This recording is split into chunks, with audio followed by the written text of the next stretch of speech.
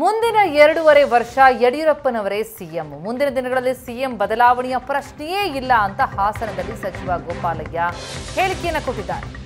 CM ಬದಲಾವಣೆಯ ಪ್ರಶ್ನೆಯೇ ಇಲ್ಲ ಅಂತಂದ್ರು ಸಚಿವ ಗೋಪಾಲಯ್ಯ. ಮುಂದಿನ ಎರಡೂವರೆ ವರ್ಷ ಯಡಿಯೂರಪ್ಪನವರೇ ಮುಖ್ಯಮಂತ್ರಿ. ಮುಂದಿನ ದಿನಗಳಲ್ಲಿ ಸಿಎಂ ಬದಲಾವಣೆಯ ಪ್ರಶ್ನೆಯೇ ಇಲ್ಲ ಅಂದಿದ್ದಾರೆ ಗೋಪಾಲಯ್ಯ. ಹಾಸನದಲ್ಲಿ ಸಚಿವ ಗೋಪಾಲಯ್ಯ ಹೇಳಿಕೆ ಇದು.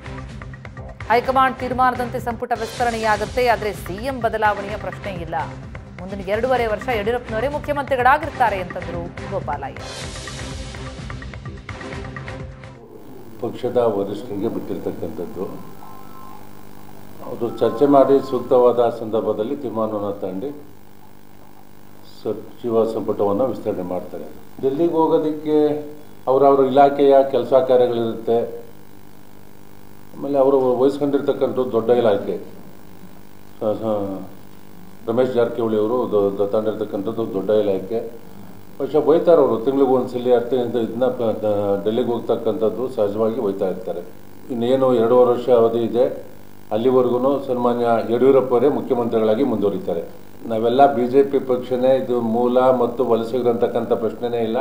ನಾವೆಲ್ಲ ಒಂದೇ ಮನೆಯಲ್ಲಿರ್ತಕ್ಕಂಥವ್ರು, ಎಲ್ಲರೂ ಬಿ ಜೆ ಪಿನವರೇ ನಾವೆಲ್ಲರೂ ಬಿ ಜೆ ಪಿನವರೇ ನಮ್ಮ ಮನಸ್ಸೊಂದಾಗಿದೆ ನಾವು ಬಿ ಜೆ ಪಿಗೆ ಬಂದಿದ್ದೀವಿ. ಅಳುಬ್ರು, ಹೊಸಬ್ರು ಅಂತಕ್ಕಂಥ ಪ್ರಶ್ನೆ ಇಲ್ಲ.